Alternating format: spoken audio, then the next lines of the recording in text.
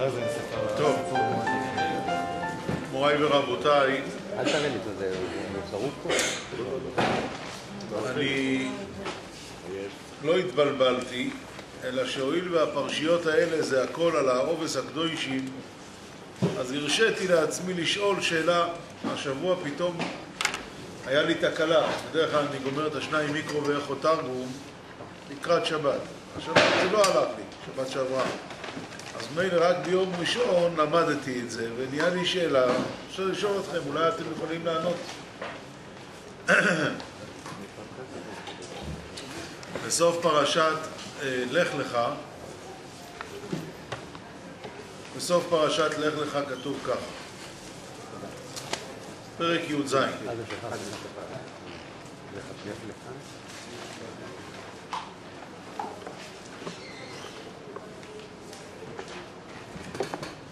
פרק י"ז,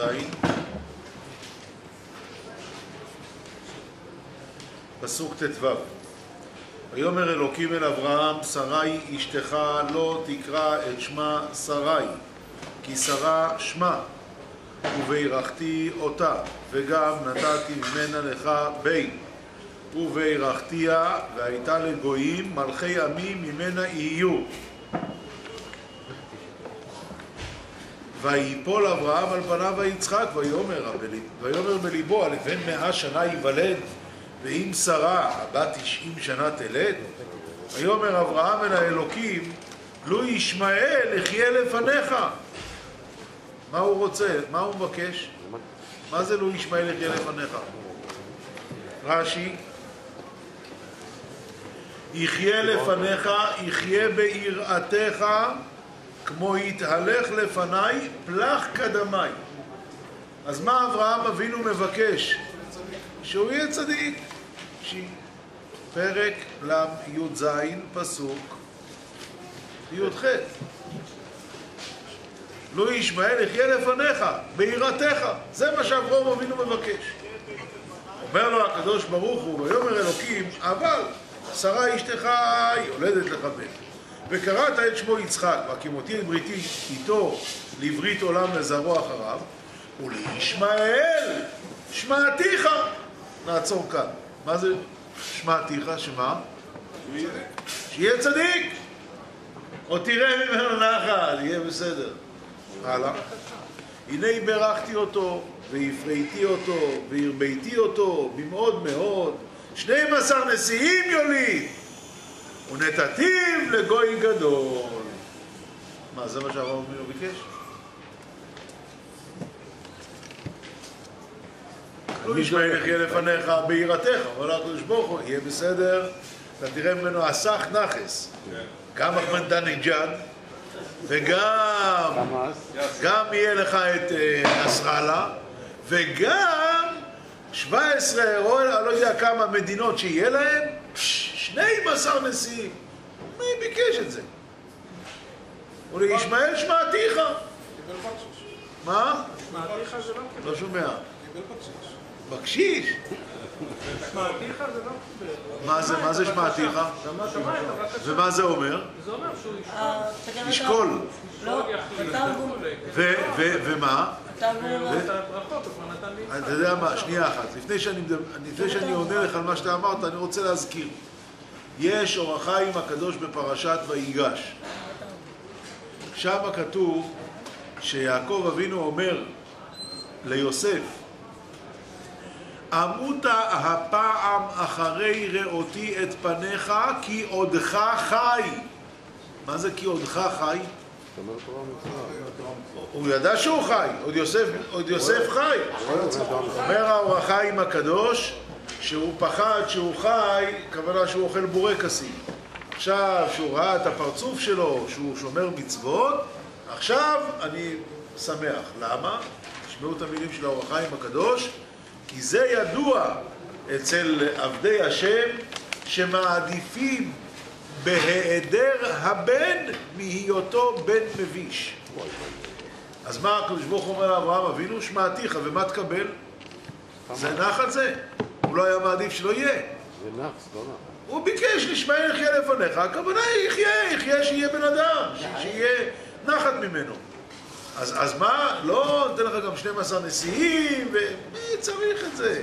אבל הת- התרגום אומר מפורש. וגם אפגניסטן, וגם כורדיסטן, וגם את כל הסטנים האחרים. מי צריך את זה?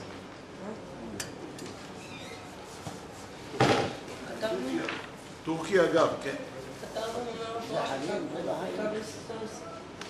נו, אז אני שואל.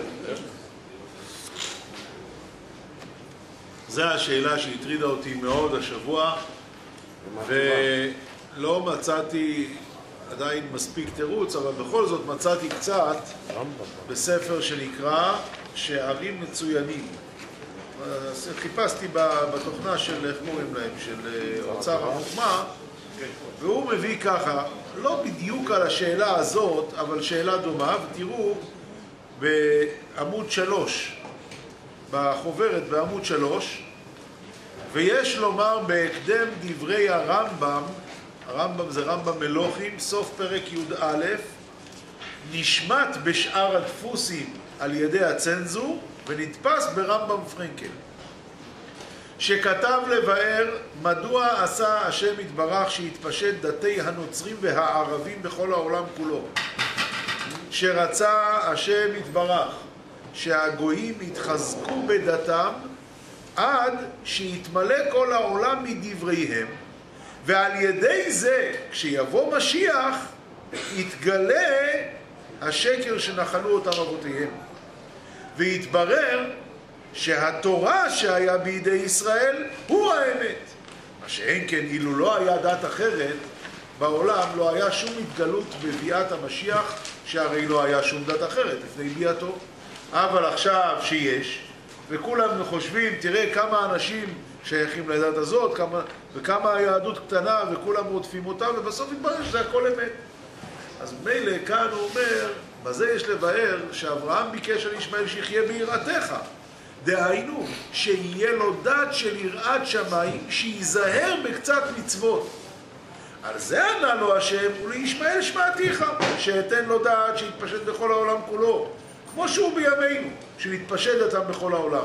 וזהו הלשון, והרביתי אותו מאוד מאוד, שיתפשט דתם בכל מדינה. ומה התכלית של זה? התכלית של זה כתוב בהמשך שמה, כעננים איכלו. תראו ברש"י, ב... ואת בריתי 12 נשיאים, נשיאים זה הרי גם עננים, אז רש"י אומר, כעננים איכלו, כמו נשיאים ורוח. אז, אז מה התכלית שלהם? שבסוף זה יסתלק מפה, שיראו שהדת היהודית זה הדת האמיתית היחידה. ככה הוא מסביר, קצת אה, מרגיע את ה... אה? עדיין קשה. כי ה... עד הגאולה יהיה גיהנום.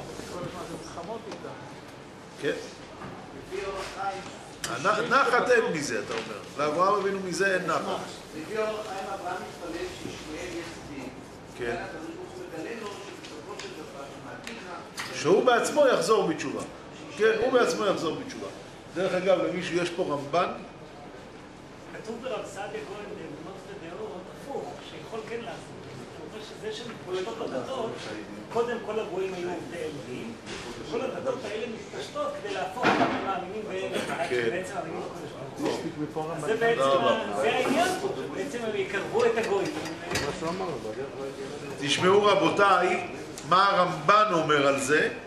הרמב"ן גם היה קשה לו כנראה הקושייה הזאת ברש"י, והרמב"ן אומר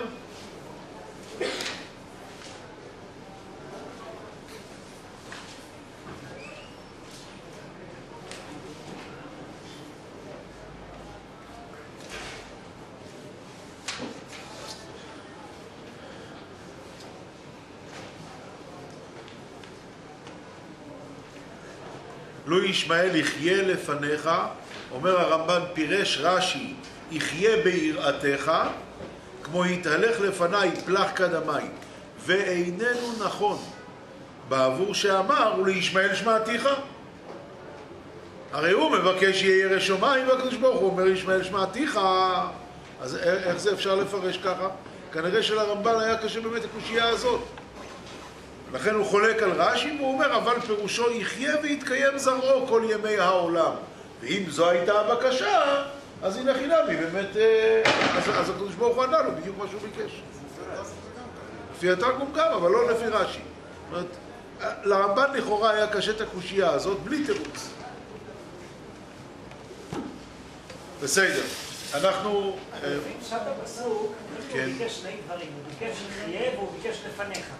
כן, ואז הקדוש ברוך הוא עונה לו, ישמעאל שמעתיך, על היחיה, הוא לא אמר לו לפניך.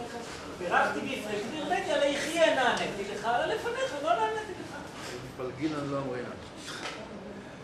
זה, זה לא, זה לא מתקבל, מה שאתה אומר. זה, זה לא נקרא ישמעאל שמעתיך. אז אחרת היה מספיק להגיד ישמעאל עוד פעם, שמעתיך, אני, חוזר עוד פעם. בפרט אם אתה זוכר את דברי האור החיים הקדוש, שאצל אנשים צדיקים מעדיפים את היעדר הבן מאשר בן מביש. זה בן מביש, מה שיש להם היום. זה בן מביש.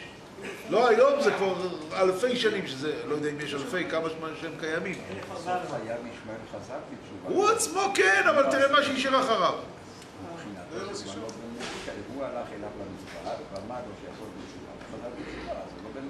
זה מה שאתה אומר, אומר האור החיים הקדוש. שהבקשה הייתה שרק ישמעאל יחזור בתשובה, הוא חזר בתשובה באמת. אבל כאן משמע אחרת. הוא מבקש, ישמעאל יחיה ביראתך, והתשובה היא, תן לך ממנו הרבה צאצאים. זה לא ביקש. מה? הנפקמינה של הדברים בין רש"י לבין הרמב"ן, האם הוויכוח שיש לנו עם האומות הוא ויכוח דתי או ויכוח אה, רגיל, בין- בסכסוך רגיל בין אנשים. לפי הרמב"ן זה סכסוך רגיל, ולפי רש"י רש"י סכסוך... שהוא דתי, כל מהות הסכסוך הוא דתי, בין הדתות. כן. כן.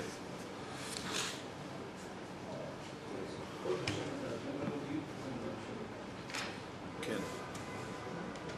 גם אצלנו, אצל הדתיים, גם אותו דבר. הלאומיות זה דת, זה לא, לא. זה לא חלק ממשהו נוסף. זה, זה, זה, זה התורה שלנו.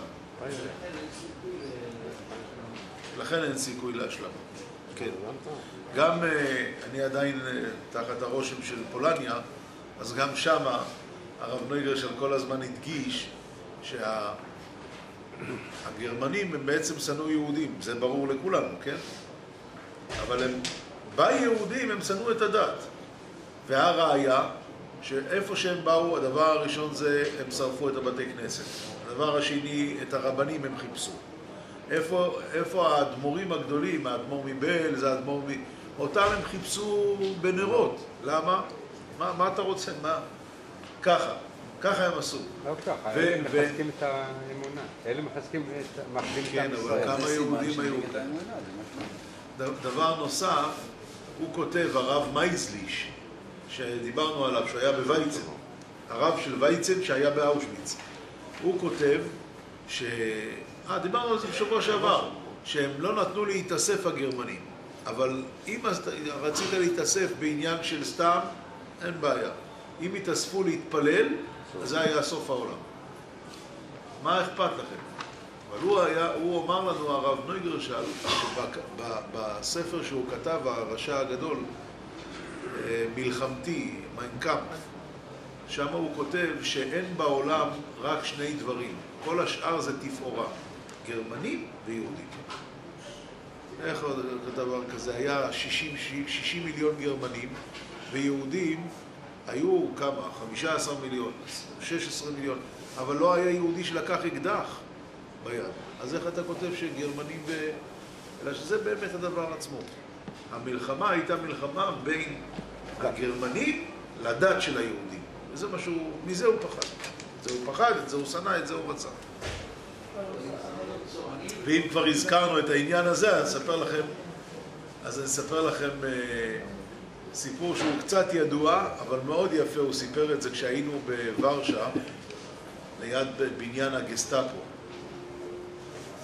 היה, היה אה, משפחה אחת, אה, זה הלך ככה, הוא סיפר שיש חוקרת אחת, הוא אמר את השם שלה, אני כמובן לא זוכר את השם, חוקרת שואה, שהיא, היום היא כבר אישה זקנה מאוד, היא הייתה במחנה בני עקיבא בארצות הברית בחופש, שם בקצקילס כנראה, והיא עבדה שם. יום אחד היא עברה איזה תאונת דרכים, והיא הלכה לבית חולים, ובא הטבח לבקר אותה בבית חולים. ואז הוא אמר לה, עד עכשיו היה בינינו יחסי עבודה רק, אבל כיוון שאת כבר שוכבת, ואני, ושמעתי שאת אוספת סיפורים על שואה, יש לי סיפור בשבילך. הוא סיפר שהם נכנסו לגטו, אני לא יודע לאיזה גטו, הם הביאו איתם את אחותם הקטנה, והם לא רשמו אותה. לא רשמו, זה אומר שהיא לא מקבלת אוכל. מצד שני, הם לא רשמו, אז לא מחפשים אותה. זאת אומרת, יש לזה גם את החיסרון וגם את המעלה. הם היו יוצאים כל יום לעבודה, הם היו חוזרים, מחלקים איתה את האוכל שלהם.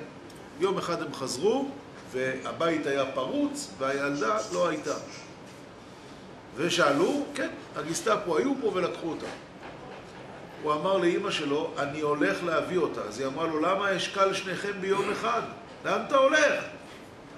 אמר לה, אני הולך להביא אותה.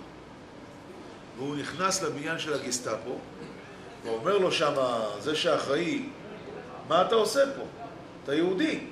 אז הוא אמר, כן, באתי לקחת את אחותי. הוא אמר, אחותך מי זאת? אמר לו. אמר, זה כן, היא פה, אבל אתה לא יכול לצאת מפה. יהודי שנכנס הנה לא יכול לצאת. אתה תמות יחד איתה פה. בדיוק הגיע שם איזה קצין גבוה גרמני, ושאל מה היהודי הזה עושה פה. אמר לו, הוא משתגע, הוא בא לקחת את אחותו. אז הקצין הגסטאפו הזה התחיל לצחוק, הוא אמר לו, כשפה יצמח לך שערות, אתה תקבל את אחותך. הוא פתח את היד והראה לו שיש לו פה שתי שורות של שערות. הגרמני הזה התחיל לקלל ואמר, זה השטן בעצמו, תיקח את אחותך ועוף מפה. והוא ברח יחד עם אחותו. עכשיו, הוא אומר לה, וזה לא מופת. אני שנה קודם עבדתי באיזה פס ייצור, והיד נתקעה, ושחזרו את היד, והיה חסר אור. אז לקחו אור ממקום שעיר בגוף, והשתילו. הוא אומר, כשהתעוררתי מהניתוח, אמרתי לרופאים, אתם משוגעים? מה, יצמח לי פה שיער? אמרו לו, לא, אל תדאג. הרפואה אומרת שהאור מקבל את התכונות של המקום שבו משתילים אותו, לא של המקום שממנו הוא בא. אז הוא אומר, מה אני אעשה? היד שלי לא למדה רפואה. והמשיך לצמוח שערות. והוא פתח את היד והוא מראה לה שתי שורות של שערות, עכשיו זה כבר היה שערות לבנות. עד כאן המעיסים. ככה הוא הציל את אחותו. אמר הרב נוי ירשל, מה המסקנה? אז יש כאלה אומרים שהקדוש ברוך הוא מקדים רפואה למכה. אמר כן, זה נכון, אבל יש כאן עוד דבר. האיש הזה היה יכול להתהלך כל החיים שלו בבושה גדולה עם יד סגורה. וכל החיים להסתובב עם הרגשה של ריבונו של עולם, למה עשית לי את זה? אבל בזכות המסירוס נפש, הוא הלך להציל את אחותו, אז א', הוא יודע למה השם עשה לו את זה, ב', הוא מסתובב ככה ומראה לכולם בגאווה את היד שלו. זה הדבר שנקרא מסירוס נפש. יפה מאוד. חלק האחרון אפילו יפה מהחלק הראשון, כי הוא ידוע. נכון. אה, לא רק, לא. לקחו את כולם, כולם. אבל זה היה חלק מה... טוב. תראו בבקשה, אנחנו בעמוד חמש, מתחילים את פרשת וירא. כתוב כאן, וירא אליו השם באלוהים אמרי רבון ולפתחי באי קרוא בשעת פטירתו של אדם, זה מהזוהר, בשעת פטירתו של אדם, על זה נאמר הפסוק וירא אליו השם. דתניא, אמר רבי יהודה בשעת פטירתו של אדם הוא יום הדין הגדול שהנשמה מתפרדת מן הגוף ולא נפטר אדם מן העולם עד שרואה את השכינה. הדאו דכתיב כי לא ירני האדם וחי. ובאין עם השכינה שלושה מלאכי השרת לקבל נשמתו של צדיק. דאו דכתיב וירא אליו השם. מה זה כחום היום? זה יום הדין הבוער כתנור להפריד הנשמות, הנשמה מן הגוף. וישא עיניו וירא והנה שלושה אנשים המבקרים מעשיו מה שעשה והוא מודה עליהם בפיו. כל אדם מודה על כל מה שהוא עשה. וכיוון שהנשמה רואה כך, יוצאת מן הגוף עד פית, פתח בית הבליעה, ועומדת שם עד שמתוודה או מתוודה כל מה שעשה הגוף עימה בעולם הזה. ואז נשמת הצדיק היא שמחה במעשיה ושמחה על פקדונה, דתניא, דתנא אמר רבי יצחוק, נשמתו של צדיק מתאווה אימתי תצא מן העולם הזה שהוא הבל כדי להתענג בעולם הבא. וכאן מתחיל סיפור מאוד, חלקו כבר כתוב בגמרא וחלקו בזוהר. הסיפור הולך על רבי, אלעזר, רבי אליעזר הגדול שהוא הלך למות והתלמידים נכנסו לבקר אותו. התלמידים זה היה רבי עקיבא וחבריו. רבי עקיבא היה תלמיד של רבי אליעזר הגדול. מספר הזוהר הקדוש שההוא יום הערב שבת הווה ואותיב לימיני הורקנוס ברי אז רבי אליעזר את, את הבן שלו שם לידו, הוא קרא לו לבן שלו על שם אבא שלו. הרי רבי אליעזר הגדול זה רבי אליעזר בן הורקנוס והווה מגללי עמיקתא ומסתרתא. מגלה לו דברים גבוהים מאוד. והוא לא הווה מקבל בדייתי מילה. דחשיב דמטורף בדייתי הווה. הוא חשב שדעתו של אביו נטרפה. אז הוא לא היה מקבל את מה שהוא אומר. אבל כיוון דחמא דדעתא דאבוי מתיישבה אלוהי קביל מיני מאה ותימני ותשעה רזי נילאין קדמתה לאב וישייש דמתאר ובמאיה אילאה שזה כנראה אף אחד מאיתנו לא מבין מה זה. בוכו רבי אליעזר ופוסק למימר. אמר קום התמברי אומר לי אבא למה? אמר לי חזינא דרוך התחלף מן עלמא. אני רואה שאני כבר הולך למות. עומר לי זיל ואימא לאמך דתסתלק תפלאי באתר אילאה. לך תגיד לאימא שלך שתשמור את התפילין שלי במקום חשוב ובאתר דהסתלק מן עלמא והייתי יחד למך להון אחרי שאני אסתלק מן העולם אני אבוא לרא, לכאן לראות את התפילין שלי עוד דבר כשהיא תראה אותי לא תבכי, שהיא לא תבכה מה יש? דאינון קריבין עילאין ולא תתאין לפי שזה מה שאני אבוא, בקיצור, זה כבר דברים גבוהים. עכשיו, עד האבוית ואלו חכים מידרא למבקר לי. באו חכמי, חכמי הדור לבקר אותו, ולתלאו על דלא עטו לשם שלי. אז הוא קילל אותם על זה שהם לא באו עד עכשיו לבקר אותו, לשמש אותו. למה הם לא באו עד עכשיו? הוא היה מנודה. עד דעתא רבי עקיבא, אומר לי, עקיבא, למה לא עתית לשמה שלי? עכשיו מה הוא יגיד לו, הרב, אתה היית מנודה? זה ממש לא לעניין. עומר לי רבי, לא עוול לי פנאי. לא היה לי זמן. ארתח, אז הוא כעס עליו. עומר, את מה הלך יתמות מיתת עצמך? לה תהיה דיה קשה מכול הון. תהיה לו מיתה קשה מאוד. בכי רבי עקיבא ואומר לי רבי אוליף אורייתא. אז לפחות עכשיו תלמד אותי את מה שהזמן שנשאר, בוא ננצל את הזמן הזה. אפתח פומי רבי אליעזר במייסי מרכובה, עתה אשה ואסחר לתרוויון. האש מן השמיים ירדה והקיפה את שניהם. אמרו חכימיה שמע מינא דלית ענן חזיין וכדאין לכך. כיוון שהאש הקיפה רק את שניהם, אז כל החכמים אמרו, אם ככה, אז כנראה לנו לא מתאים. נפקו לפיתחא דברא ויטיבו תמן. הם יצאו החוצה. הווה מה דהווה, היה מה שהיה, לא כתוב כאן מה, ואז על אשה ואוליף בבהרת עזה תלת מאה הלכות פסוקות. האש הלכה, ורבי אליעזר לימד כמה? שלוש מאות הלכות פסוקות בבהרת עזה. ואוליף לי ריש יוד וו טעמים בפסוקי דשיר השירים. בואו רבו ישראל, בואו בשביל ה... כמה הסברים אתם מכירים בפסוק שיר השירים אשר לשלמה? אתה לא מכיר. הוא לימד אותו בכל פסוק 216 הסברים.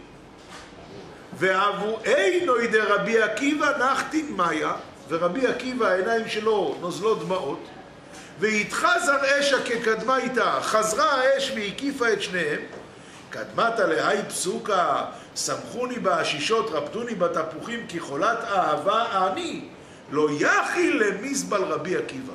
זהו, על זה כבר רבי עקיבא לא יכל, והארים קלי בבחייתא וגיא, והוא התחיל לבכות בקול. ולא וממלל מדחילו דשכינתא דאבה תמן, ורבי עקיבא לא אמר מילה מהפחד של השכינה שהייתה שם. אורי לי כל עמיקתא ורזיני לאין דאבה בשיר השירים, אז הוא לימד אותו את כל הדברים האלה, והוא מילי אומה, והוא השביע אותו שבועה, דלא להשתמש בשום חד פוסוק מיני, שלא ישתמש בשום פסוק משיר השירים. למה? כי היכי דלא ליחרב עלמא קודשא בריחו בגיני. ולא באי קמי להשתמשון בי. זאת אומרת, הקדוש ברוך הוא מקדושה של שיר השירים, הקדוש ברוך הוא לא רוצה שישתמשו בפסוקים. ואם הוא ישתמש בפסוקים האלה, אז הקדוש ברוך הוא יחריב את העולם. יש כאן המשך מאוד מאוד מעניין, כדאי מאוד לראות את זה, יש לכם פה עם הפירוש, ואנחנו עוברים הלאה לעמוד 12. וירא אליו השם באלוני ממרא, והוא יושב פתח האוהל כחום היום, וישא עיניו וירא והנה שלושה אנשים. בא רשב"ם, אני לא ראיתי את הרשב"ם הזה עד היום, היום, כיוון ששלח לי את זה ידידי הרב מגיד, אז ראיתי את הרשב"ם, מדהים. ממש מדהים, כי אתה לא רגיל. וירא אליו השם, אז הוא אומר, איך נראה אליו השם? שבאו שלושה מלאכים, זה היה הגילוי שכינה. השלושה מלאכים האלה, זה הגילוי שכינה, כך אומר הרשב"ם.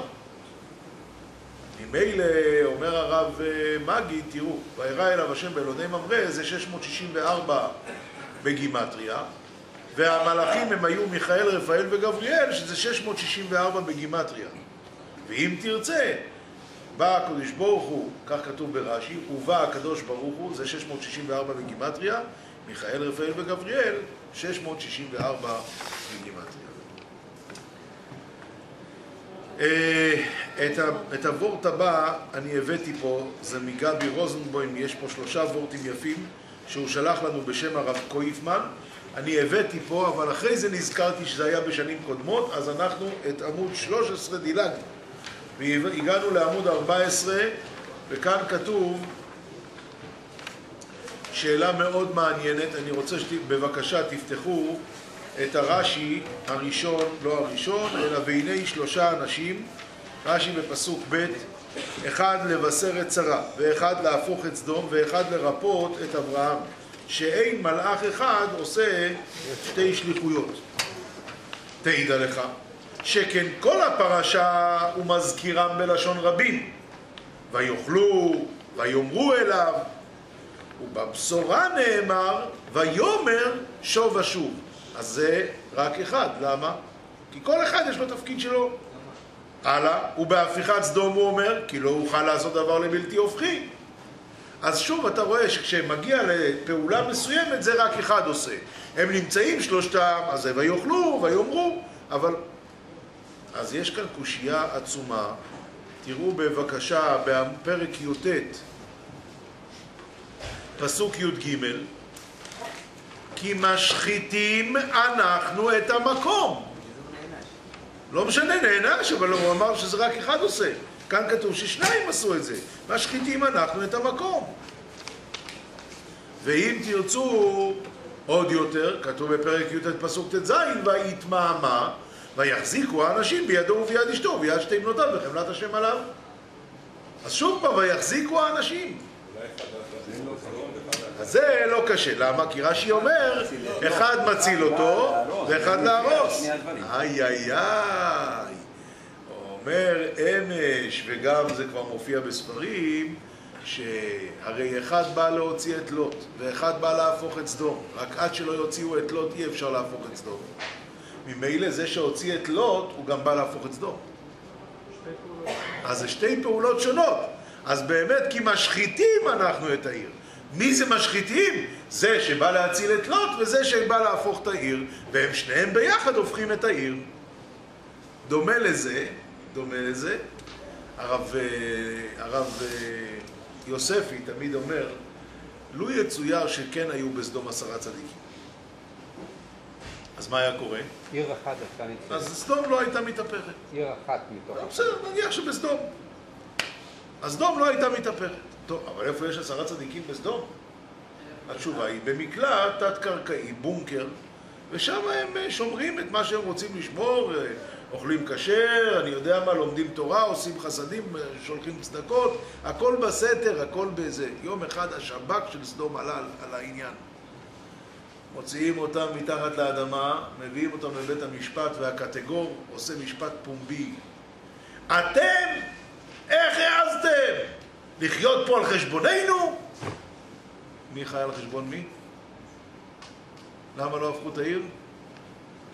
אז אומר, מוסיף הרב, זה הרב יוספי. היום ראיתי שהרב אה, מאיר צבי ברגמן אומר, להוציא את העשרה צדיקים מתוך העיר, זה נקרא להפוך את סדום. וזה מה שכתוב כאן. כי משחיתים אנחנו את העיר, כל זמן שלוט נמצא בעיר אי אפשר להפוך, אבל בואו נוציא את לוט, ממילא משחיתים אנחנו את העיר. גם זה שמוציא את לוט, הוא משחית את העיר. הלאה. אנחנו, אני רוצה לשאול שאלה, אבל באמת רק בהצבעה, לא, לא לקפוץ, כי זו שאלה מאוד קלה. למה, למה לוט אמר ולינו ורחצו רגליכם, לעומת זאת אברהם אבינו אמר רש"י אומר במקום. ורחצו רגליכם והישענו תחת העץ. רש"י אומר במקום. שאברהם דאג קודם שלא יביאו לעבודה זרה, ולוט אה, על זה הוא לא הקפיד, או הסבר שני הוא מביא ש... שיבואו אנשי המקום, אם יראו שהם עדיין עם אה, אבק על הרגליים, אז יגידו שרק עכשיו הם הגיעו. יפה אומר הרב רבי יוסף אה, שככה. א', רש"י אומר בתחילת הפרשה שאברהם אבינו לא רצה להכניס אנשים שעובדי עבודה זרה אליו הביתה. גמרנו. אבל לוט לא הקפיד על זה, ולכן אצל לוט כתוב, קודם תלכו לישון ואחר כך ורחצו רגליכם. לא אכפת לי האבק שברגליכם. אבל יש פירוש שני, ורש"י את הפירוש השני אומר על הפסוק, ולינו ורחצו רגליכם. מה שמה אומר רש"י? שאנשי המקום. שהוא פחד שכשיבואו השב"כ של סדום ויראו אנשים אצלו בבית, אז הם יגידו לו בוא'נה בוא'נה בוא'נה. ממתי הם פה? הוא יגיד להם, מה, עכשיו הם הגיעו. אה, הגיעו, אה? למה הרגליים שלהם רחוצות? הם כבר יומיים פה. אז כדי שלא זה, אז הוא רצה שיראו שיש להם אבק על הרגליים, עכשיו הם הגיעו. אתה אמרת שזה שני פירושים ברש"י, ואני שואל, זה סותר. כי אם הסיבה היא כי הוא פחד מהשב"כ של סדום, אז, לא צריך, אז לא צריכים להגיד שהוא בגלל שלא אכפת לו מעבודה זרה. למה לך להעמיס עליו שהוא גם עובד עבודה זרה? סתם, הוא פחד. ואם הסיבה היא בגלל עבודה זרה שלא אכפת לו, אז מה אתה מכניס פה את סדום? שתי הסיבות נכונות. שתי הסיבות נכונות, אני שואל אבל למה להגיד את זה ששתי הסיבות נכונות? אז, אז זה באמת אחד מהדברים ששלח גבי רוזנבוים בשם הרב קויפמן בספר משחת שמן, תירוץ מאוד יפה, בשם הדברי יחזקאל.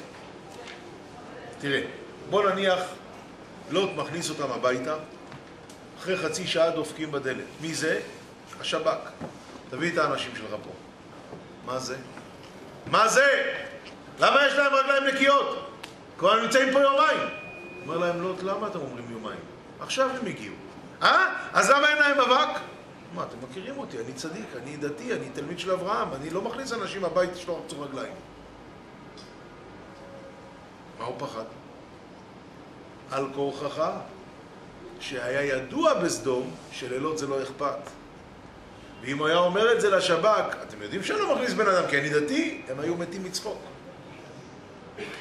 מילא, אם לא הסיבה שרש"י אומר שלילות לא היה אכפת מאנשים שבאים עם עבודה זרה על הרגליים, לא היה אפשר להגיד את ההסבר השני, ושניהם משלימים אחד את השני באמת. כי אם היה ידוע שהוא באמת שומר על זה, ואכפת לו שלא ייכנסו אליו אנשים עם אבק על הרגליים כי הוא מפחד מדין של עבודה זרה, אז הוא היה יכול להשאיר את זה. היה יכול לתת להם לרחוץ.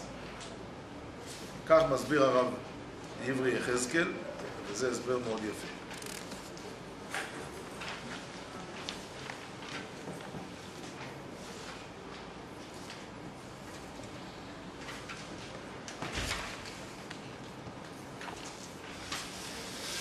יוקח נא מעט מים ורחצו רגליכם וישענו תחת העץ ואחר כך מה כתוב? ואכחף את לחם וסעדו לבכם אחר תעבורו כי על כן עברתם על עבדיכם ויאמרו כן תעשה כאשר דיברת פעם פעם כבר אמרתי לכם איזה מין צורה זה כן תעשה כאשר דיברת איך נורמלי שבא אורח? תאכל משהו? לא, לא, לא, באמת לא, אני עכשיו שבע, עכשיו שתיתי, לא... אה, דוד שלי, שיהיה בריא, סיפר פעם שבא, נכנס אחד אצל חבר שלו, אז אומר לו, ינקל, תאכל אה, חתיכת דג? לא, לא, ממש לא, אני לא, לא, ממש אני שבע, לא ציפורה. תביא לו חתיכת דג עם קצת אה, חריין. בקיצור, נטל ידיים, אכל ח- חריין עם דג, עם רוטב, עם חלה. ינקל, צלחת מרק. לא, לא, לא, לא, מה, באמת, אני לא זה. ציפורה. תביא לו. בקיצור, אכל צלחת מרק עם קרוטונים ועם פרפלח ועם אה, אה, לוקשן. ואחר כך אומר לו, חתיכה עוף עם קצת תפוחי אדמה. לא, לא, באמת, אל, תביא, אני לא אוכל, באמת, אל תביא. ציפורה. תביא לו. בקיצר, חתיכה עוף עם תפוחי אדמה ועם זה ועם זה, ואז הוא אומר לו, ינקל, כוס תה. כוס תה, כן. כוס תה, כן. פה אברהם אבינו אומר להם, "ת- אתם תאכלו, אה, אני אביא, כן תעשה כאשר דיברת. מה זה הדבר הזה? מה קרה פה? אז הוא אומר, אמר משהו מועט. אה? הוא אמר משהו מועט. יפה.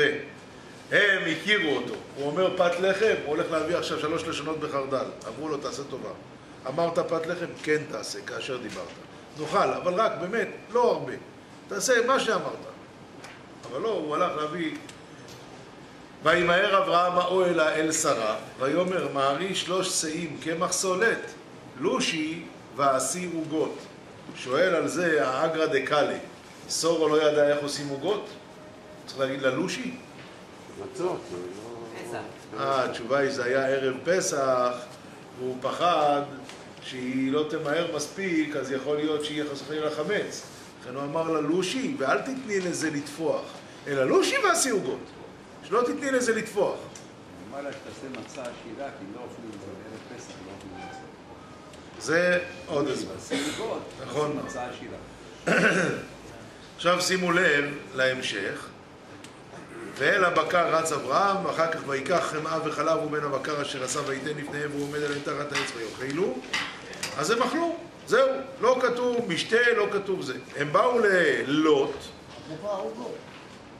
אז זה כתוב שהיא פרסה נידה. עכשיו, הם באו ללוט הביתה, ולוט, כתוב שהוא הגיש להם מצות. איפה זה? 17. מה?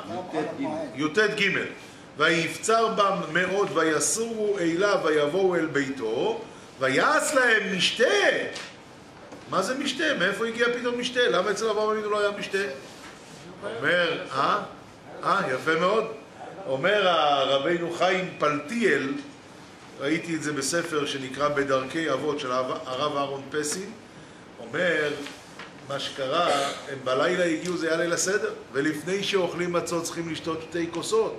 לכן, קודם כל ויעש להם משתה. ואחרי שתי כוסות של ארבע כוסות, אז עכשיו מצות עפה. ואז ויאכלו.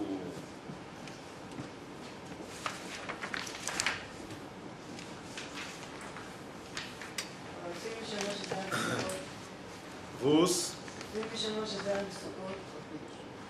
לפי מי שאומר שזה היה בסוכות, אז הוורט הזה לא טוב. הגמרא אומרת. מה, מה? עשה להם קידוש. אבל, אה, קידוש, משתה קידוש. כן, יכול להיות. תחת העץ, העץ הסוכה. סוכות היה כבר אצל אברהם, אותם בסוכה. תחת העץ, תחת. רבו ישי, פרק י"ח פסוק ה' ואקחה פת לחם וסעדו לבכם, אומר רש"י, נו, נו. וסעדו לבכם בתורה בנביאים, אחרי זה תשאל מה אמרת. וסעדו לבכם, אומר רש"י, בתורה, בנביאים ובכתובים מצינו דפיתה סעדתא דליבה. הלחם סועד את הלב. בתורה, וסעדו לב- לבכם. בנביאים, סעד לבך פת לחם. בכתובים, ולחם לבב אנוש יצעד. לא מבין. מה צריכים שלוש ראיות לזה? מי שלא טעים לו שלא יאכל, ומי שלא רעב שיצאו, מה, מה הבעיה? בתורה, בנביאים ובכתובים, תדע לך שהלחם סועד את הלב, שקויר. אומר המנחס שמן, הרב קויפמן, משהו יפה מאוד. בשם מי? אתם תשמעו בשם מי. היה רב זושה, רב זושה אלכסנדר, אלכסנדר זושה פרידמן, זה שכתב את המעיינה של תורה. תורה. הוא אמר פעם לרבי מגור לאמרי אמס, הוא אמר את הוורט הזה. למה צריך רש"י להגיד תוירו נביאים וכסובים? אז הוא אמר, יש היום, תשאל, ביצה זה בריא או לא? יגידו לך ככה, לפי המחקרים שלפני שנתיים זה לא בריא, עכשיו זה כן בריא. נראה בעוד חצי שנה יהיה מחקר חדש, לא יודע מה יהיה. אתה שואל, להיות שמן זה בריא או לא? תלוי את מי אתה שואל. פעם זה היה נחשב הכי בריא בעולם, היום שמן, שהשם ישמור ויציל. פעם היה נחשב אישה שמנה הכי יפה בעולם. היה תכשיט מיוחד שהיו שמים, קטלה זה היה נקרא. הייתה שמה שיוריד לה את השומן פה, שהיא תראה שמנה. אה, יפהפייה הייתה. היום, מה אתה מדבר? הכל משתנה בעולם, כל הזמן. דבר אחד לא משתנה, אומר רש"י. התורה נכתבה לפני ארבעת, ניתנה לפני ארבעת אלפים שנה. הנביאים נכתבו לפני שלושת אלפים שנה, לפני אלפיים וחמש מאות שנה. הכסובים נכתבו עוד אחר כך. תדע לך, זה אף פעם לא השתנה. בתורה, בנביאים ובכתובים כתוב שפיתא סעדתא דליבה. זה לא משתנה, הדבר הזה לעולם יישאר אותו דבר. אז אומר על זה הרב קויפמן, כתוב בגמרא במסכת עבודה זרה דף י"ט, דבר זה כתוב בתורה ושנוי בנביאים ומושלש בכתובים, כל העוסק בתורה נכסיו מצליחים לו. למה צריך להביא ראיה משלושתם? שלא יחשבו שזה פעם היה ועכשיו כבר השתנה המצב. פעם היה אכלו מן, לא, לא. תמיד זה נשאר אותו דבר. מי שעוסק בתורה, נכסיו מצליחים לו. וזה פילי פלאים. מה אתה אומר? מה הקשר? פיתה זה לחם, סועד את הלב. זה היה ככה וזה נשאר ככה וזה יישאר ככה לעולם.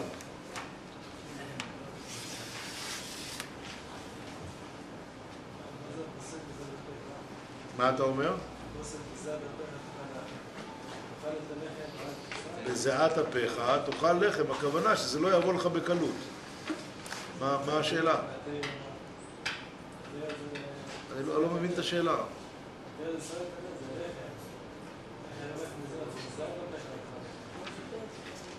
באמת, אני מצטער, לא הבנתי מה אתה שואל.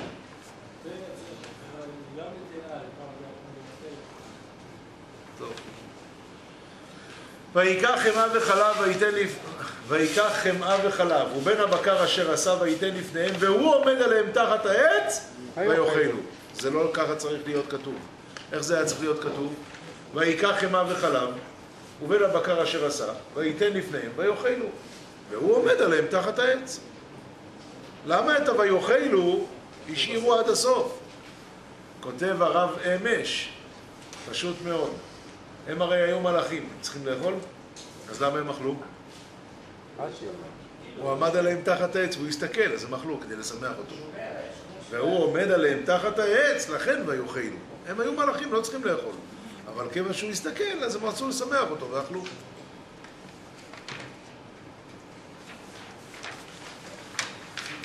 טוב, עכשיו בעניין הזה של הכנסת אורחים, ויאמרו אליו, ויהיה שרה אשתך, אומר הרב יויסף הלוי בספר יבוא הלוי, והוא כותב, שמעתי בשם חכם אשכנזי. שמעתי בשם חכם אשכנזי, כנראה שהוא בעצמו היה מעדות המזרח.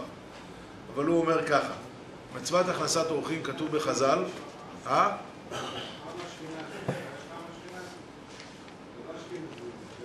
אה, אשכנזי אולי, יכול להיות.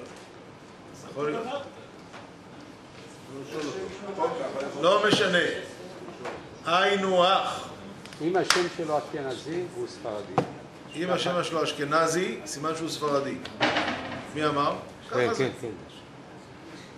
אה, אה, כי אה, הוא בא כנראה ממקום אחר. מה, מה? מילה חכם. אז זה יכול להיות חכם אשכנזי, זה יכול להיות חכם אשכנזי. זה גם ספרדי גם כן, אשכנזי זה גם ספרדי.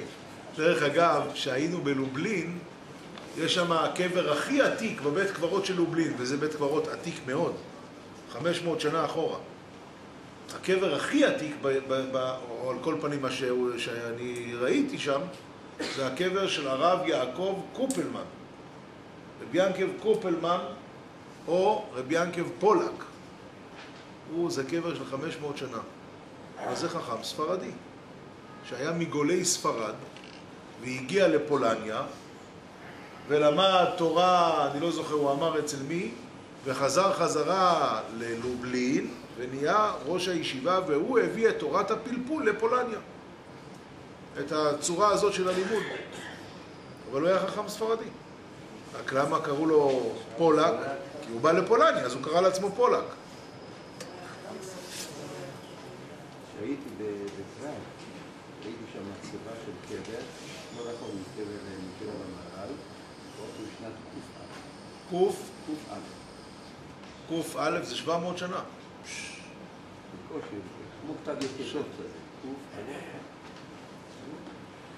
בכל אופן, אתם שומעים או לא, יעקב? אז... אה, אז הוא אומר ככה, כתוב גדולה הכנסת אורחים יותר מקבלת פני השכינה. למה צריכים להגיד יותר? תגיד כמו. יש תירוצים בזה. מה התירוצים שאתה מכיר? כי כתוב שהוא הפנה את הגב אל השם, אז סימן שזה יותר. על כל פנים, הוא אמר, כאן הוא מביא בספר, שיש אה, איש ואישה זכו, השכינה שרויה ביניהם, זה י"ק. אז השכינה שרויה ביניהם, י' באיש, ה' באישה. אז בא הבן אדם, אומרים למה אתה לא מכניס אורחים? הוא אומר, אשתי מתנגדת. אומרים לו, גדוי לא הכנוס אורחים יותר מקבול פני השכינה. בשביל זה. כיוון שאישה אינה צרה באורחים, אז הוא יכול להגיד, אז אני לא מכניס אורחים בגלל שצריך, אשרס, השכינה אצלי בבית, גדוי לא הכנוס אורחים יותר מקבול פני השכינה.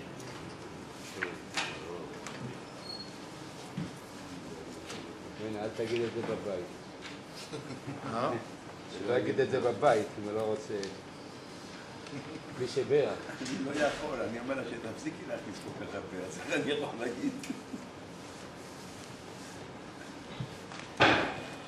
טוב, עכשיו שאלה ששואל הרב אהרון פסי, שאלה מאוד יפה. אב- אברהם אבינו הרי חשש שהם עובדי עבודה זרה. אז איך הוא הסכים שהם ייתנו כוס יין? מה לגבי יין נסך? בטח שהיה. לאברום אבינו היה 400 פרקי אבוי דזורי. לפני הגזרה? אבל למה הוא לא פחד מנסך ממש? הם עבדי עבודה זרה, הוא חשב. הוא פחד מה- מה- מהאפר שברגליהם. תקנה של שיין נסך, למה היא תקנה שיין נסך? יין נסך. זה סתם יינו. כן, סתם כדי שלא יתחתנו איתם. שלא יתחתנו איתם. אבל ברגע שהם שתפו, פתאום? למה? כל הסתם יינו זה שלא הפת יתחתנו. והיין אבל והכל לא, זה זה סתם יינו. יין נסך אמיתי. אבל יין נסך אמיתי זה עבודה זרה. יין נסך זה עבודה הרי זרה. חושש שהם עובדי עבודה זרה. היין לא היה יין. היין לא היה יין אצל אברהם אבינו. ברגע שהם כתוב שהם שאלו, איה שרה אשתך, אומר רש"י, רצו לשגר לה כוס של ברוכה. אז אומר הרב אהרון פסין, פשוט מאוד, אברום אבינו כל היום גייר, גייר, כל היום גייר גויים. אז הסתובבו אצלו בבית מלא גויים. כל היין אצלו היה מבושל. איך? כל היין אצל אברהם אבינו כנראה היה מבושל. זה המיץ ענבים באותו יום. להבין.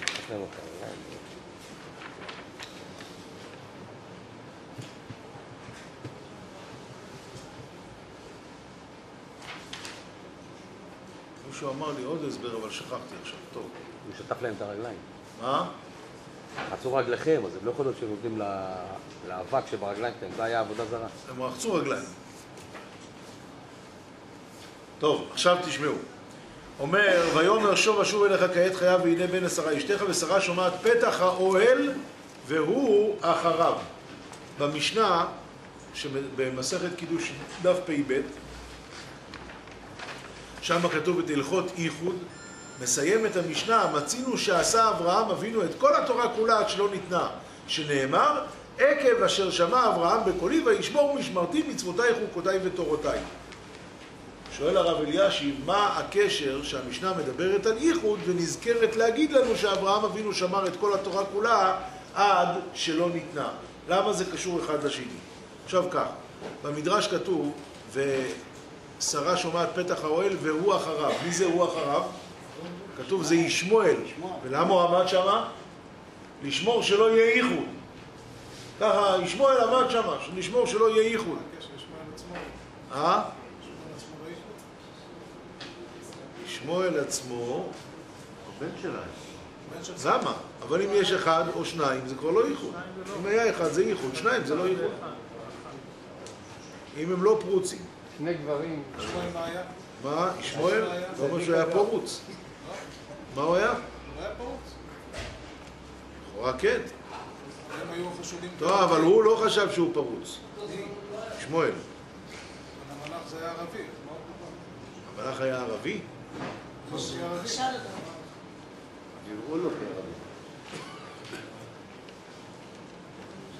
לא יודע. אבל הם היו שלושה.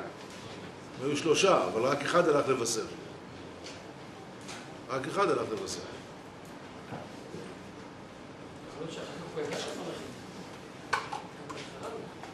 אחרי שהם מסרו לו ודאי שהוא ידע שהם מערבים.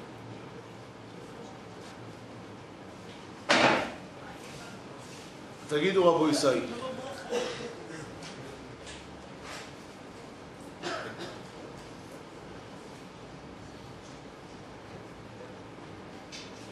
הלכויס איחוד זה אחד משבע מצוות בני נוח? לא. לא. לא. אז למה היה צריך לשמור? לכן אומרת המשנה, כשהיא מדברת על הלכות איחוד, כי הם אברהם אבינו את כל התורה כולה עד שלא ניתנה, ולכן היה צריך אה, שם ישמעאל לשמור. מה זה עזר? זו שאלה נוספת, אני לא יודע. עכשיו, אז הוא עוד לא היה פרוץ. כשהוא היה פרוץ, הוא זרק אותו מהבית. אתה מדבר 13 שנה אחר כך, שמצחק. זה 13 שנה אחר כך. שנה. מה, מה? שנה. מה השנה? 13 שנה. שלושת זה היה בן 99. יצחק נולד בגיל 100. הוא שיחק עם יצחק כשהיה בן שלוש. אז כמה שנים זה? עכשיו רק הוא שואל הרב אלישיב, למה היה צריך איחוד? הרי בעלה בעיר. מה? אז זה מעניין, אני לא ידעתי, הוא אומר שזה בעצם מחלוקת רש"י ותוספות. רש"י אומר שההתר הזה של בעלה בעיר זה לא לכתחילה, רק שאין חוששים להלקותו. ולפי תוספות זה התר לכתחילה, ולפי תוספות תהיה קשה באמת למה, למה הוא חשש על איחוד, הרי בעלה בעיר, ויש לומר שהם היו ערבים ופרוצים. טוב, עכשיו ותצחק שרה בקרבה לאמור, אחרי בלותי הייתה לי עדנה ואדוני זקן. על מי היא מדברת אדוני זקן? הבעל שלה. אז זה מעניין מאוד, בליקוטי שושנים מביא הרב אברהם מאיר יזדי, שסורו אימנו, סורו אימנו, הרי הקדוש ברוך הוא, אנחנו שרים בעניים זמירות. זקנה ביום דין ובחרות ביום קרב, כאיש מלחמות ידיו לא הוריו. זקנה ביום דין, כשהקדוש ברוך הוא עושה דין בדמות של זקן. וכשהוא עושה קרבות, נראה כמו בחור. ראו אותו על הים אבותינו כמו בחור, ראו אותו ביום דין כמו זקן, במעמד הר סיני. זה כמו זקן. ככה יותר אה, מיושב, כן? ולעומת זאת ביום קרב כמו בחור. היא ראתה, היא סורו אימנו, ראתה את הקדוש ברוך הוא כמו זקן. אז היא עשתה חשבון כזה, כדי שאני אלד צריך פה נס גדול. נס גדול זה שייך לבח... ל... ליום קרב. לבר... צריך להיראות כמו בחור. לכן היא אמרה, האף אמנם אלד, איך היא אמרה? ואדוני זקן. ואדוני זקן. מה זה ואדוני זקן? הקדוש ברוך הוא, אני ראיתי אותו הרי בתור זקן. אז זה לא הולך להיות נס, אז אם זה לא נס? אמר לו הקדוש ברוך הוא לאברהם אבינו, למה זה צחק השרה לאמור האף אמנם אלד? ואני זקנתי, היא אומרת עליי שאני ראתה אותי בתור זוקן? היפלא מהשם דבר? מה, אני לא יכול גם בתור זוקן? אני יכול הכל. מה שהיא ראתה, ראתה, אבל אני יכול הכל. ככה הוא מביא הרב יזדי.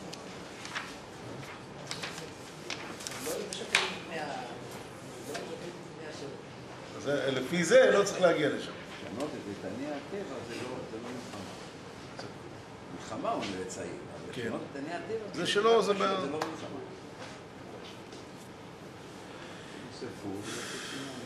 ויקומו משם האנשים וישקיפו על פני סדום, אומר האדמו"ר, האדמו"ר הצדקס יויסף, ש... יש אדם רעב, רעב, והוא מסתובב, לא מוצא, פתאום מישהו ניגש אליו, אתה רעב? בוא, אני אתן לך לאכול. נתן לו פרוסת לחם וכוס מים. הוא עשה מצווה? מה זה מצווה? זה מצווה. בן אדם רעב, נותנים לו כוס לחם, פרוסת לחם וכוס מים. זה מצווה. יש אבל בן אדם שגר בבני ברק, ופתאום הוא רואה איש אחד ברחוב. אומר, תעשה טובה, בוא תאכל אצלי משהו. אה, הוא, אני יודע, כן רעב, לא רעב, עושה טובה, נכנס, אוכל משהו. מצווה? אולי מצווה, אבל זה לא כמו ההוא שאברהם אבינו, לא מבואי שהיה נותן לכל אחד לאכול, אם הוא בא לבקש, אלא הוא יושב פתח האוהל כחום היום, שמא הוא יראה עוברים ושבים. מה זה עוברים ושבים? שבכלל לא, לא מבקשים לאכול, אבל הוא רץ אליהם. בבקשה, בואו תאכלו, בבקשה, בואו תאכלו. הוא היה רוצה לקראתם, ויאמר, "אה, בואו, אל נא תבוא מעל עבדיך, יוקח נא מעט מים. הנה, מה קרה? אברהם אבינו היה בקצה, בקצה האחרון של הכנסת אורחים. סדום היו בדיוק הפוך. גם בן אדם שבא לבקש, התחנן לכוס מים, לא נתנו לו. למה לא? ככה זה היה סדום. עכשיו תאר לך שאתה נמצא אצל אברהם אבינו, ואתה ל- ל- לקיצוניות של הכנסת אורחים. רק תבוא, רק תאכל, כזה. פתאום אתה רואה את סדום.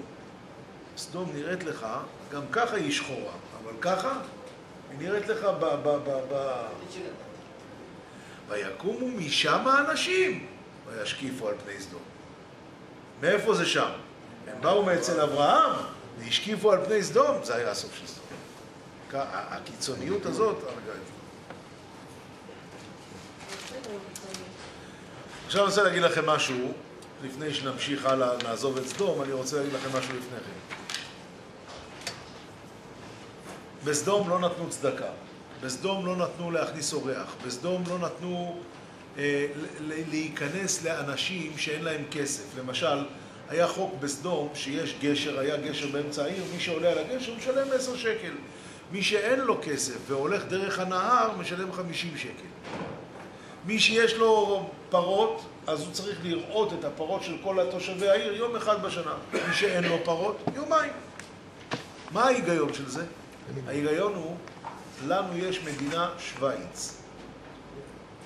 אבל אם יבואו לפה יותר מדי אנשים שצריכים עזרה, אנחנו נהפך למדינת צעד ולא יהיה לנו מה לתת.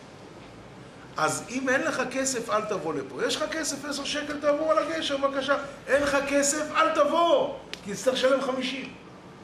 יש לך פרות, אתה יכול לבוא. אין לך פרות, אל תבוא. זה ההיגיון של סדום. לכן יד עני ואביון לא החזיקה, ולכן אסור להכניס אורחים, ולכן עושים כל מה שאפשר כדי להמאיס את המקום על מי שלא תושב קבוע פה. ועד היום שווייץ זה ככה. וכדי לקבל אזרחות שוויצרית אתה צריך להראות שאת, שאתה אדם משכיל, אתה צריך להראות שיש לך כסף בבנק, המון דברים. מה יש? לא רוצים להפך למדינת צעד.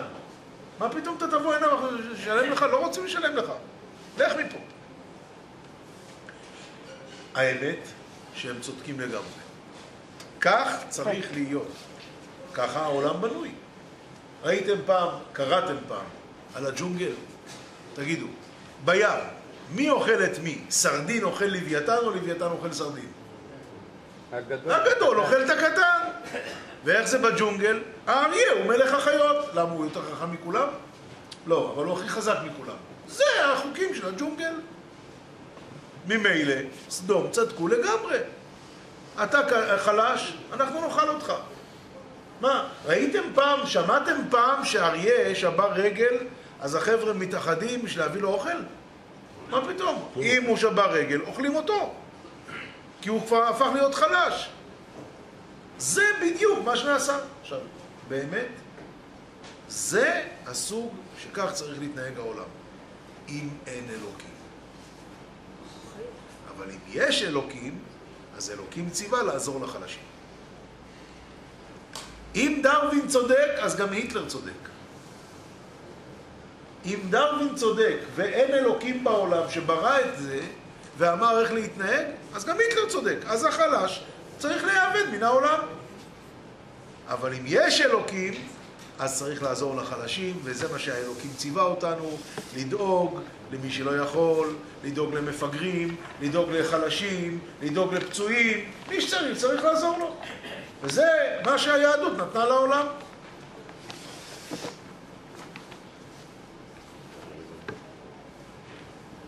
וזה הסיבה שהוא כל כך שנא דת היהודים דווקא. למה? הם תקעו את העולם עם עשרת הדיברות שלהם. מי צריך את זה? אם לא היהודים, אז העולם מתנהג כמו שהיטלר רצה. החלש נאבד, החזק מתגבר, זהו.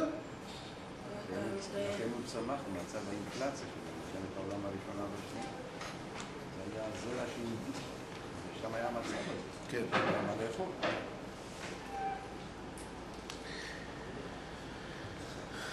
טוב, עכשיו, אה, זה סיפור יפה, כתוב ככה, פרק י"ח פסוק י"ט כי ידעתים למען אשר יצווה את בניו ואת ביתו אחריו. מספר הרב אברומורטחה סלומיאנסקי מקריית גת, שהרבה האמרי אמס, האדמו"ר מגור, אכלו בבית פעם, והוא קם לקחת מים אחרונים. אחרי זה אשתו שאלה אותו, הרבנית, למה לקחת לבד? למה לא ביקשת שהילדים יביאו? הפוך, זה יהיה חינוך. אז הוא אמר לה, גם זה חינוך, שאני מחנך אותם, שמה שאתה יכול לעשות לבד, תעשה לבד. הרב יעקב גלינסקי שואל ככה, כתוב, ויאמר לוט אל חתניו לוקחי בנותיו. אתה שמעת פעם חתניו שזה לא לוקחי בנותיו? או לוקחי בנותיו שזה לא חתניו? למה זה כפול? אלא, אומר הרב גלינסקי ככה, אברהם אבינו, כשהוא רצה שידוך בשביל יצחק, מה הוא עשה? שלח את אליעזר. מה, מה יצחק בעסק? אני אביא לך אישה, יהיה בסדר. הגר לקחה אישה לישמעאל. מי לקח את האישה? הגר, ותיקח לו עמו אישה ממצרים. לבן, יעקב רצה את הבנות שלו. מה הוא עשה? פנה ללבן. יש סור, יש צורה של התנהגות בעולם. רק בסדום זה לא היה ככה. חתניו, לוקחי בנותיו. סגרו את העניינים ביניהם. הם לא היו צריכים שטרן. גם היום יש לנו כזה דבר. היום גם? לא.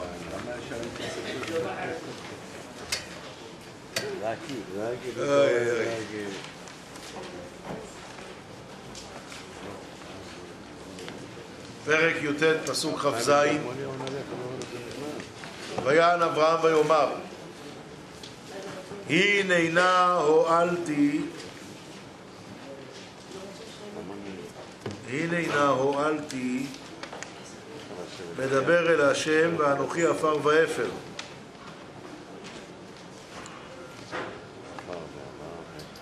אז זה לא, זה, זה פרק י"ח פרק י"ח מה? י"ט כ"ז. זה י"ח, י"ח, אה, י"ח ל"ג, וילך השם כאשר קרא לדבר, ואברהם שב למקומו. מה זה למקומו? אז אומרים חז"ל שכל הקובע מקום לתפילתו, אלוקי אברהם בעזרו, ולא עוד, אלא שכשהוא מת אומרים עליו, ויהי ענה ויהי חסיד מתלמידיו של אברהם אבינו. מה הקשר? מה, בגלל שהתפלל במקום מסוים, אז בגלל זה הוא ענה וחסיד מתלמידי אברהם? מה הת- התשובה שאתה מכיר, מלכי? התשובה שאני מכיר זה שאומרים, בן אדם 50 שנה מתפלל באותו בית כנסת, באותו מקום, לא הסתכסך עם אף אחד, זה כנראה גם חסיד, גם ענב. זה התירוץ המפורסם, אבל אה, הוא, הרב סלומיאנסקי, מקריית גת, שלח הסבר חדש. למה זה גם חסיד וגם ענב? צריך לקבוע מקום לתפילתו, אבל בסדר, פעמים קורה שבן אדם הביא איתו אורח, אבא שלו בא לבקר אותו שבת. אז הוא מסתכל איפה יש מקום, שם את אבא שלו. אחרי זה ההוא בעל המקום מגיע, מה הוא יעשה עכשיו? אז הוא רוצה לעצמו מקום אחר. אז הוא לא יכול לקבוע מקום לתפילתו, מה לעשות? קורה, לא? זה יכול להיות אבל שאתה תקבע מקום לתפילתך בשתי תנאים. תנאי אחד, שתמיד בא מוקדם. תבוא שעה לפני התפילה, תמיד יהיה לך את המקום שלך. אפשרות שנייה, שאתה יושב בצד, איפה שאף אחד לא רוצה לשבת. היי חסיד, היי ענב. החסידים כתוב שהיו שעה, באים שעה אחת לפני התפילה. הענב זה זה שישב בצד. היי חסיד, היי ענב, מתלמידיו של אברהם. יפה.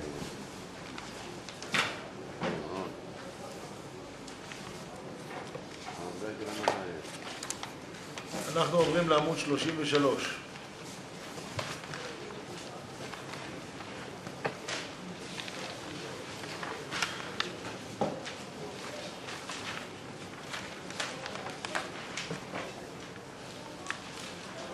פרק כ', פסוק ז'.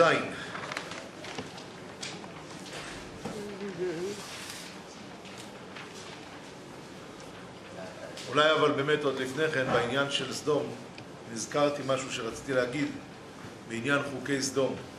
סיפר לי חבר, בן גילי, יש לו דוד בארצות הברית. הדוד הזה הוא יהודי בעל תשובה, הוא גר בבית, לא, ב... לא בבניין, בבית. יש לו כלב. יום אחד הדבר נכנס להביא דואר, והכלב נשך אותו. תבע אותו לבית משפט, רוצה 7,000 דולר פיצויים. הגיע היום של המשפט, הדוד, בעל הכלב, הגיע לבית המשפט. שואל אותו השופט, אתה יודע שהוא תובע 7,000 דולר, מה יש לך להגיד על זה? אז הוא אמר, אדוני השופט, הדבר הזה, הדבר, האיש שמחלק את המכתבים, הוא היספני. ההיספנים רגילים לאכול כלבים. הכלב שלי ראה אותו, זה היה שעת צהריים, פשוט נכנס ללחץ. ובתור התגוננות, הוא נשך אותו. כי הוא היספני. וזה היה שעת צהריים. הכלב פשוט היה במצב אה, של פחד, הוא, הוא, הוא הגן על עצמו. והוא זכה במשפט. זה חוקי סדום. הוא לא שילם. למה? הכלב הגן על עצמו, מה אתה עוד רוצה?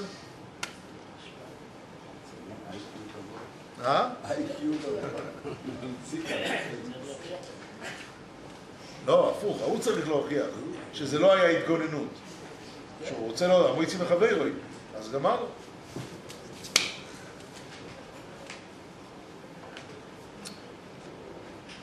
טוב.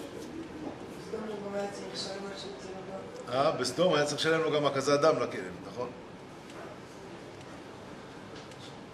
עכשיו, אה, תראו, בעמוד 33 אתם רואים, זה משהו שקיבלתי בשנה שעברה, כנראה אחרי פרשת וירא, ואני לא כתבתי מי שלח לי את זה. אז יסלח לי, כבודו במקומו מונח, אני אומר בשמו, אבל לא יודע בשם מי.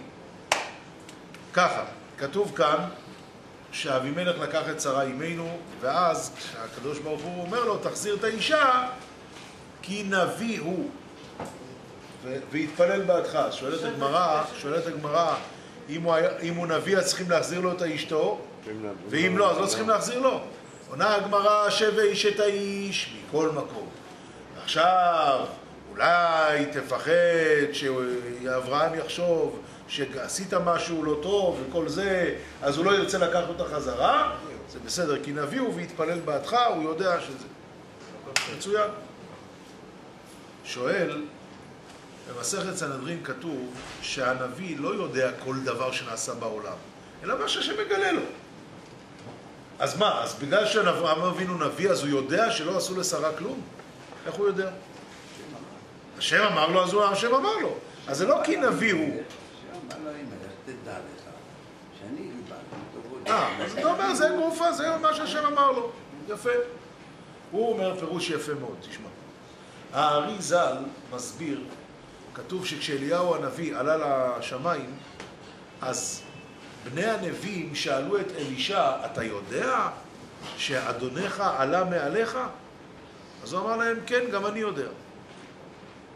שואל הארי הקדוש, מה, מה זה גם אני, מה, מה הם שאלו אותו? הם יודעים, הוא לא יודע? אומר הארי הקדוש חידוש. הנביא, שהוא הנביא של הדור, דרכו עוברות השפעת הנבואה לכל הנביאים האחרים. ממילא, אליהו הנביא, דרכו עברה ההשפעה לכולם, זה כמו לב כזה שזורק דם לכולם. עכשיו, עבר שקרוב ללב, חס וחלילה יש מצב לא טוב בגוף, אז הרגליים הן הראשונות שנפגעות. למה? כי הן רחוקות, אז הלב לא, מס, לא מספיק להביא דם עד שמה. אבל הכבד לא כל כך מהר נפגע.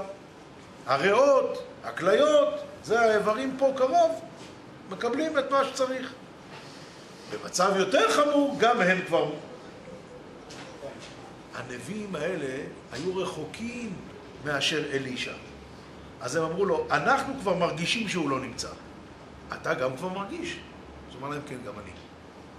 אפילו אני, שאני קרוב, כבר מרגיש. ככה אומר הארי הקדוש. לפי זה, אומר היהודי ששלח לי, אם ככה, אברהם אבינו היה נביא, אבל מי היה יותר גדול ממנו בנבואה?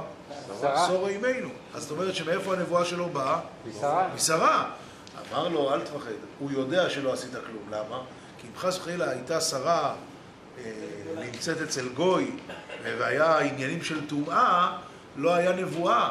אז השבט אשת האיש ויתפלל בעדך, כי נביא הוא. כל זמן שהוא נביא הוא יודע ששרה לא, שלא קרה כלום. כן. מה? ליצנים אין מה לעשות איתם. זה ליצנים. בפרק כ' פסוק י"ב כתוב שאברהם אבינו מתנצל ומסביר לאבימלך וגם אומנה, אחותי בת, בת אבי, אך לא בת אמי. למה כשהוא היה אצל פרעה הוא לא ענה את התשובה הזאת? תשובה אחת, דיברנו בשנים שעברו, שאצל פרעה הוא לא אמר, כי פרעה לא נתן לו לדבר. פרעה אמר לו, למה עשית? קח ולך. בסדר, אז הוא לא היה צריך לדבר. פה הוא שאל והוא רצה תשובה. אבל הוא מביא, הפניני קדם, מביא בשם הגאון רבי יוסף מסלץ, בעל מחבר ספר ראש יוסף. הוא אומר זה פשוט, שם אצל, אצל פרעה הוא אמר אחותי, הוא ראה שזה אחותו. שניהם היו זקנים. פה מה שקרה, בינתיים כבר היה נבואה של המלאכים, ומה קרה? נת- נתעדן הבשר. אז הוא מסתכל, הוא אומר לו, אתה אח- האחות שלך, כן? איך האחות שלך? אתה בן מאה, היא בת חמש עשרה. איך האחות שלך? אז על זה הוא אמר לו, וגם אומנה, אחותי, בת אבי, לא בת אמי, וזה, סידר את העניין. אבל למה פה היה צריך להסביר? כי פה זה לא היה נראה שהיא אחותו בכלל. מה אתה אומר? לא, אז אם היא זה בת אבי ולא בת אמו, אז יכול להיות הפרשים גדולים מאוד. כמו, אתה יודע שיש היום, אחד אמר לי שאח שלו נהרג בשואה. אני מסתכל עליו, בן כמה? הוא בן 60. אח שלך נהרג בשואה? הוא אומר לי, כן, אבא שלי היה נשוי לפני השואה, והיה לו ילדים, והם נהרגו. אחרי השואה הוא התחתן עם אמא שלי. אז יש לי אחים שלהם, זה לא מאותה אימא, זה יכול להיות הפרש גדול מאוד.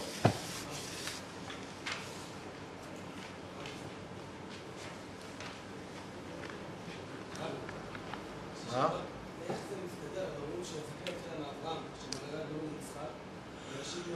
בין אברהם ליצחק. נכון. זה לא מסתדר עם החז"ל הזה. צריך ממש... אה, אולי יצחק היה נראה. אין סיבה.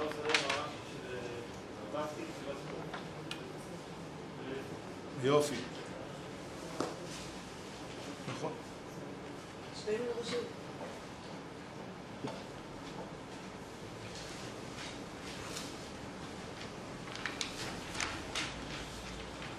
אה.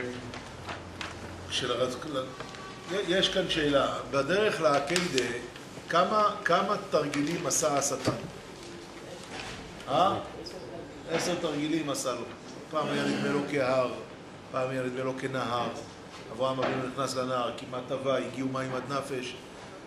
ואחרי זה הוא בא לדבר איתו ולשכנע אותו. מה הוא לא עשה? בסוף הגיעו סוף סוף לזה, הוא כבר עושה את הכל. ואומר עליו מלאך, אל תעשה, אל תעשה מאומה, כי אתה ידעתי כי ירא אלוקים מה אתה. וירא והנה ההילכה נכנס לסודות, וילך אברהם ויקח את העיל. למה הוא לא פחד שזה עוד פעם השטן? שבא ואומר לו, אל תשלח ידך ואל תעשה, למה הוא לא פחד שזה השטן? יש סיפור שהחופץ חיים סיפר. יום אחד הגיע אל התוספות יום טוב בן אדם, ואומר לו, אני אוסף כסף לישיבת הבח. אוסף כסף לישיבת הבח. אתם יודעים שהתוספות יום טוב והבח, שניהם קבורים בקרקע, אחד ליד השני, לא רחוק. התוספות יום טוב יותר צעיר.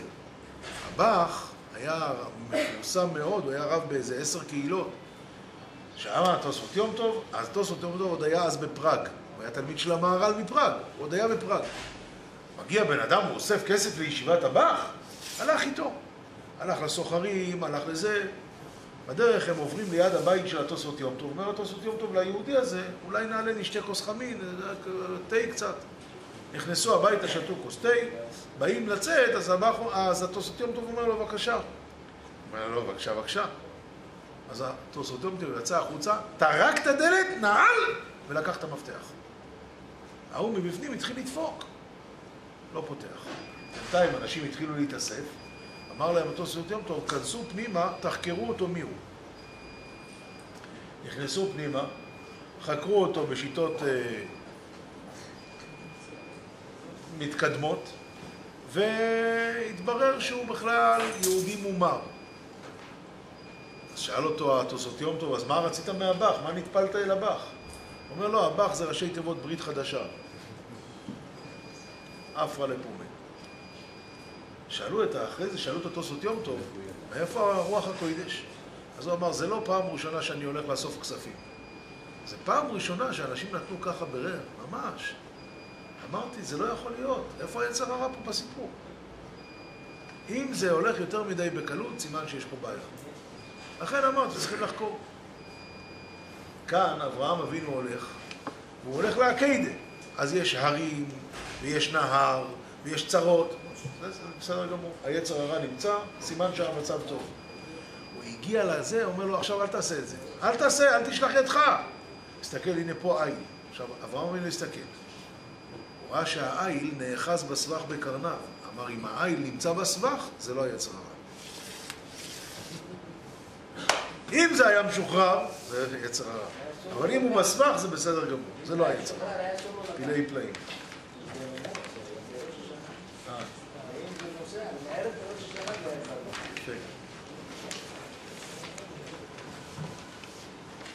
עכשיו חידוש גדול רבותיי, בן כמה היה העיל הזה? ימי בראשית. עיל, מותר להקריב אותו אחרי שהוא כבר בן שנה? לא. שנתיים? שלוש? עשר? חמש עשרה? אלף שנה? מותר להקריב עיל בן אלף? תסתכלו בעמוד 41. את זה הפנה את תשומת ליבי ידידי הרב דניאל רוזנבוים מחיפה. זוהר הקדוש, סוף פרשת ויירו. התנינן הוא איל דאיתברי בין השמשות אבי. האיל הזה זה, הוא בן שנתו היה.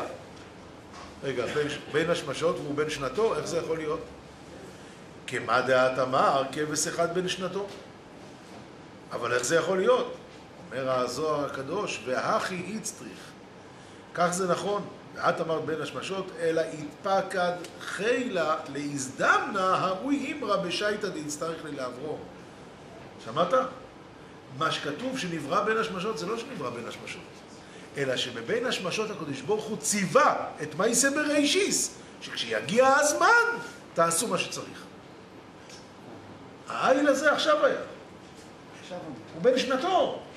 ואם תאמר, אה, כתוב בין השמשות, בין השמשות השם ציווה את האדמה, שכשיגיע אברהם אבינו, שהיא תוציא את העיל הזה.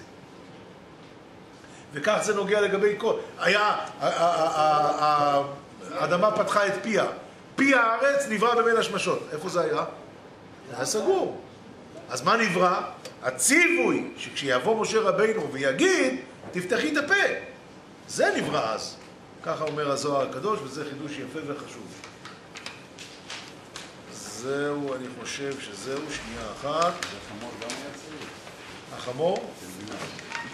הפה של החמור. החמור היה גם צעיר. מוריי ורבותיי, לפני שאנחנו מסיימים, שבת זה שבת של הכנסת אורחים. יש אנשים שמכניסים אורחים מדי פעם.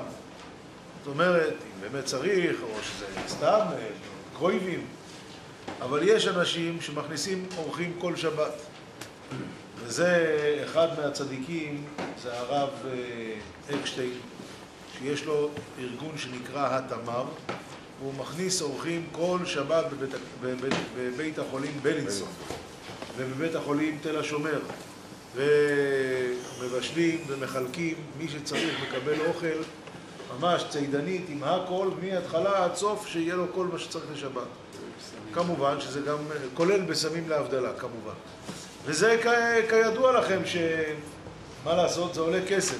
לא נעים לדבר אבל זה עולה כסף אז פעם בשנה הרב אקשטיין מגיע אצלנו פה לשיעור ביום חמישי בלילה לבקש מי שרוצה להשתתף איתו במצווה יכול להשתתף. ואני אומר לכם, מכיר את הרב אקשטיין, הוא אדם צדיק והכסף הולך למצווה. הוא נמצא פה בסוף ומי שרוצה יכול להשתתף במצווה. רבי חנניה